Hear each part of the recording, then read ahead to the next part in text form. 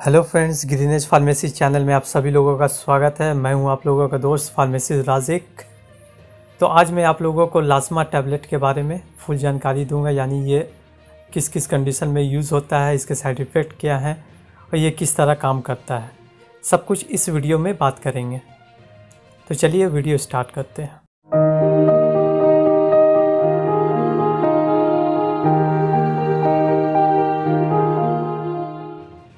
तो दोस्तों, ये जो लासमा टैबलेट है, ये एपेक्स कंपनी की आती है और इसकी कीमत एट्टी टू रुपीज़ है, यानी कि बिरासी रुपये हैं। ये जो लाजमा टैबलेट है, डॉक्टर से एडवाइस लेके यूज़ करें।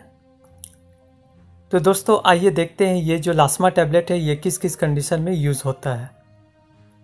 तो दोस्तों, ये दम्मा यानी अस्थमा से बचने के लिए और जो एलर्जी की वजह से छींक और नाक बहते हैं, उसमें यूज़ होता है। तो आइए अब इसके कंपोजिशन देखते हैं। इसमें एक ही इंग्रेडिएंट होते हैं, जो कि मोन्टेलू कास्ट टेन एम है। तो दोस्तों, ये जो मोन्टेलू कास्ट है, ये लिकोटेरिन जो कि एक केमिकल मैसेंजर होता है, जिसके प्रोडक्शन बढ़ जाने से सांस लेने वाली नली, यानी कि एयरवेज में सूजन आ जाता है। तो ये मोन्टिकुलास लिकोटेरिन के एक्शन को ब्लॉक कर देता है, जिससे अस्थमा और एलर्जिक सिम्टम रुक जाते हैं। तो आइए अब इसके इंपॉर्टेंट नोट को देखते हैं। तो दोस्तों it is unsafe to consume alcohol with Lasma tablet do not drive if you take Lasma tablet तो दोस्तों, चलिए अब इसके साइड इफ़ेक्ट को देखते हैं।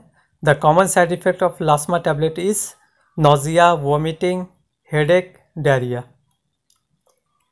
तो दोस्तों, ये था लास्मा टेन टैबलेट का फुल डिटेल वीडियो अच्छी लगी है तो लाइक शेयर कमेंट करें। और मेरे चैनल को सब्सक्राइब करें और कमेंट करके बताएँ कि आपको किस मेडिसिन के बारे में इंफॉर्मेशन चाहिए।